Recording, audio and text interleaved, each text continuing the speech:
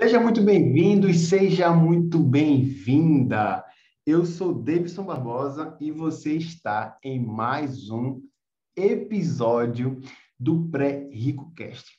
E hoje eu quero separar de verdade as pessoas que investem ou começam a investir e as pessoas que ainda não começaram a investir, não deram o seu primeiro passo rumo à sua liberdade de escolha, porque investir, sem sombras de dúvidas, é a opção mais simples e mais fácil, a oportunidade de construir uma renda passiva de forma inteligente quando colocamos o dinheiro para trabalhar para nós. Então, se você curte meu conteúdo, se você gosta dessa parte aqui de investimentos, faz o seguinte, clica aqui nesse botão que tem aqui embaixo, me manda o feedback, dá um ok, dá um coração, encaminha esse vídeo aqui ou esse podcast, se você está ouvindo, lá para o grupo da família, lá no grupo do WhatsApp, compartilha, me marca no Instagram, que eu vou ter certeza que você passou por aqui, que você gostou do conteúdo, que você se interessa e a gente vai estar produzindo cada vez mais conteúdos como esse. Desde já agradeço e deixo esse convite mais uma vez para você curtir, comentar e compartilhar os nossos conteúdos, tá bom? O fato aqui é o seguinte: o problema principal de quem não investe é porque ainda não controla o dinheiro.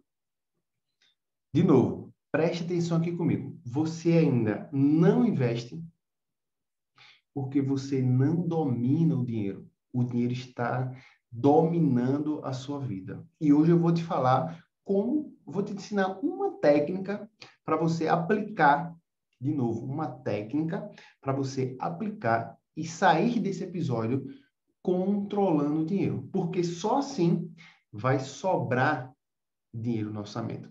Porque só investe quem poupa. Só investe quem tem dinheiro sobrando. Porque se você está pegando empréstimo para investir, isso não faz o menor sentido. O dinheiro do empréstimo, o dinheiro da dívida, ele, a, a dívida cresce muito mais rápido que o investimento, então não é a lógica principal. A ideia é ter dinheiro sobrando. A gente vai explicar isso aqui hoje. Então, para você investir, você precisa antes controlar o dinheiro, ter dinheiro sobrando no orçamento e aí dar os primeiros passos rumo ao investimento. Então, inclusive, o, o, o nome, o título desse episódio é Adicione 300 reais todos os meses, né? Sem que você precise trabalhar mais com isso. Então, nós vamos ensinar técnicas aqui, hoje, para você controlar o dinheiro, sobrar dinheiro e aí poder investir o dinheiro e ele trabalhar para você. Então, ou você investe, é o investidor, ou você não investe, você ainda não controla o dinheiro. E às vezes você está até confortável. Ah, Deus, eu estou confortável, eu não invisto, mas é, eu consigo pagar as minhas contas.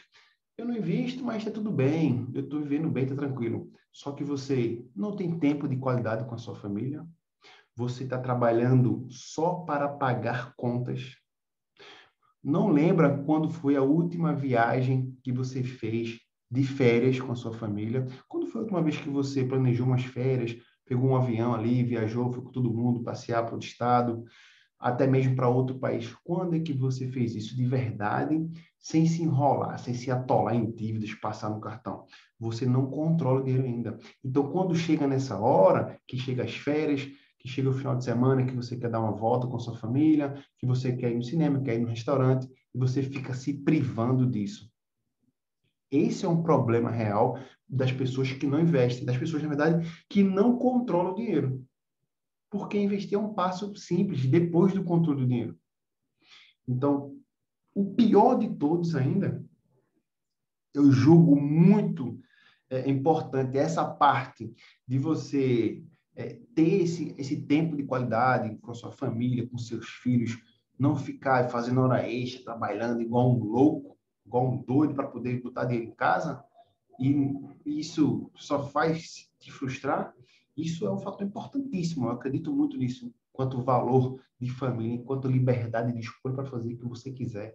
Mas uma dor que poderia ser muito mais próxima é saber que você vai se aposentar e vai apostar todas as suas fichas no INSS. Ou na empresa privada, ou até mesmo você que é funcionário público, vai, vai apostar que daqui para quando você for se aposentar, as regras não vai mudar e você vai estar satisfeito com o seu salário quando você tiver lá seus 60, 65 anos, que vai ter um monte de tempo livre, mas não vai ter dinheiro para nada, porque os seus custos aumentaram, você acabou adquirindo muitos passivos, ainda tem os custos com saúde. Então, talvez a, a, o fator mais importante que você deveria se preocupar era com a sua aposentadoria.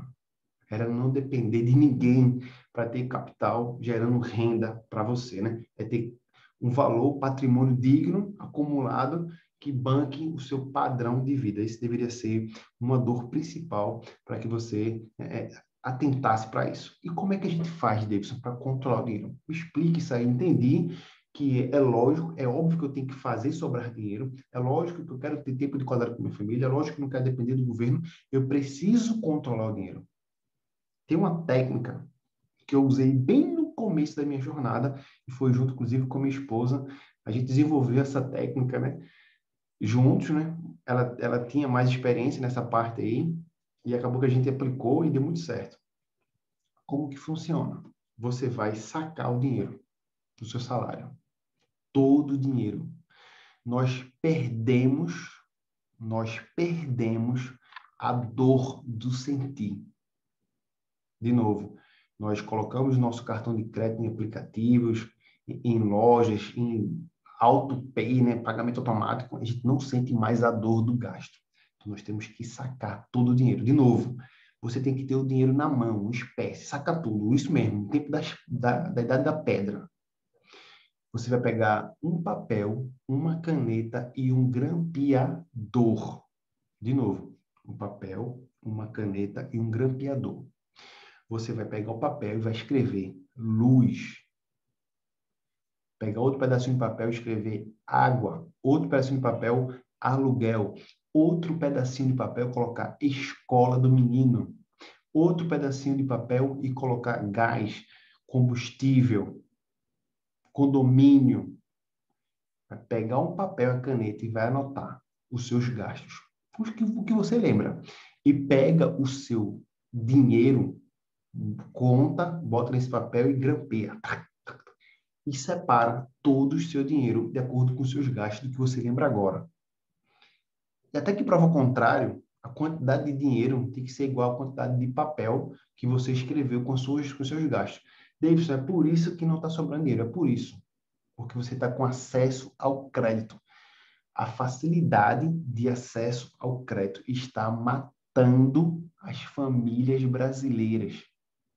Se você está me ouvindo e tem um cartão de crédito, eu tenho certeza que o seu cartão de crédito, ou um, ou dois, ou três, ou quatro cartões de crédito somando, dá mais do que duas, três vezes do que você ganha no mês. Eu duvido que você tenha um cartão de crédito que não seja maior do que sua renda. O acesso ao crédito ele é facilitado. Se brincar, você tem até um cheque especial. Isso está acabando com as famílias brasileiras.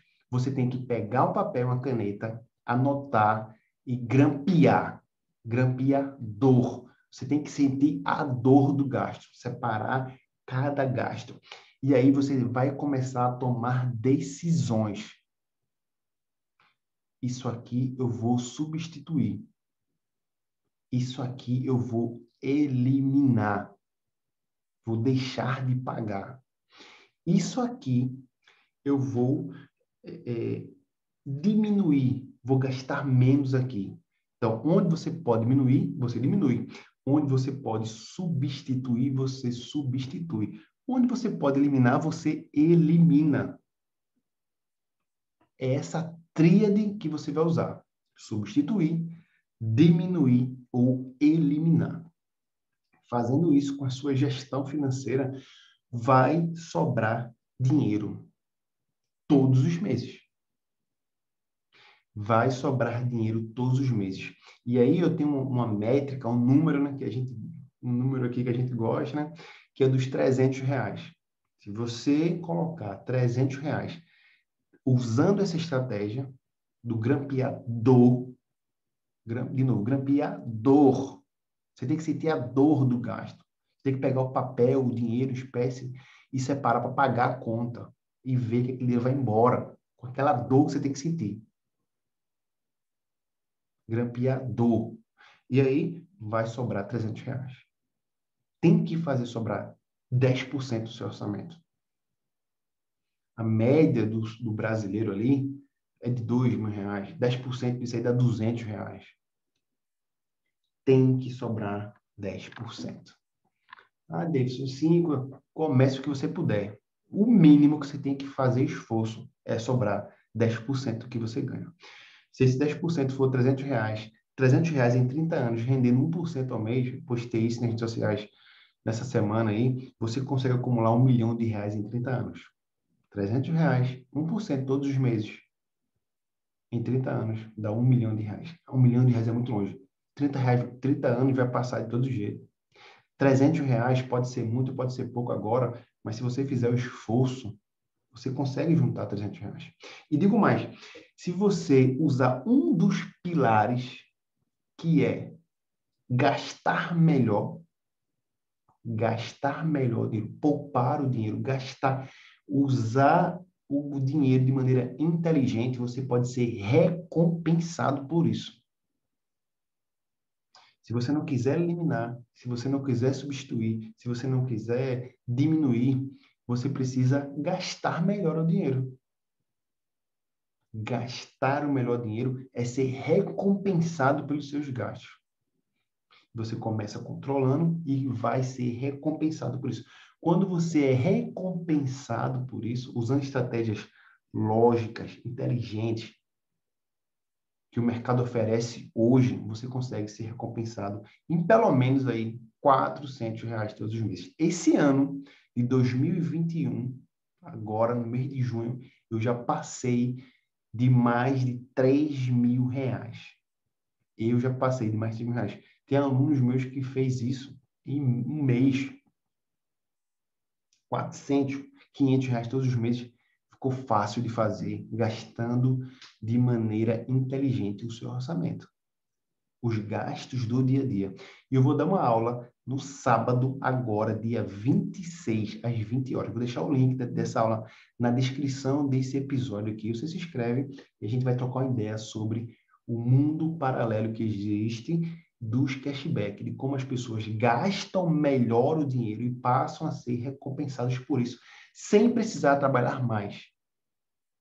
Pelo contrário, você vai usar a inteligência, vai gastar melhor seu dinheiro e vai ser recompensado por isso e vai adicionar esses 300, esses 400 reais para acumular capital, para colocar o dinheiro para trabalhar para você ter uma aposentadoria digna, um patrimônio acumulado de maneira inteligente, destravando aí os primeiros mil, os primeiros dois, três, quatro, os primeiros dez mil reais investidos de maneira inteligente, começando pelo um pilar muito importante da educação financeira, que é gastar melhor o dinheiro. Então, se você quer participar dessa atividade, dessa aula junto comigo, vai ser aula fechada no Zoom, só para quem tem o link que eu vou mandar no grupo no WhatsApp. Vou deixar a descrição aqui. Você se inscreve, vai cair no grupo do WhatsApp. Eu vou mandar o link lá nesse grupo. É uma aula fechada, tá? No Zoom que eu tenho, que eu uso, não cabe muitas pessoas. A gente vai reduzir a quantidade de gente, a gente vai trocar ideia. Vai ser mano a mano, tete a tete, um a um. Quem tiver lá nessa aula vai aprender estratégias principais para acumular pelo menos 300, 400 reais, gastando os mesmos hábitos de consumo que você tem hoje, gastando para ser recompensado por isso. E aí poder acumular e se tornar realmente, sobrar dele para se tornar realmente um investidor. Beleza? Conta comigo, aguardo vocês nesse sábado agora, dia 26. Não sei se você está ouvindo é, esse episódio depois do sábado, mas se, se já passou esse dia, fala comigo no privado que a gente troca uma ideia também, que eu posso te ajudar. Beleza? De qualquer forma, a gente se encontra por aqui todas as sextas-feiras. Grande abraço e até o próximo episódio.